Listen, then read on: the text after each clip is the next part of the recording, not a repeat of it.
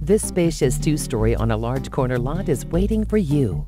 Delight in a light and bright floor plan with beautiful bay windows in the dining room and a kitchen with sliding doors to the large private backyard. The upper level boasts two bedrooms and an open loft that will be great as a study area. A washer and dryer, playground set, fenced dog kennel, a workbench, and heavy storage unit are also included in this sale. Call Tamara Scott and make this three bedroom, two bath home in Denver yours.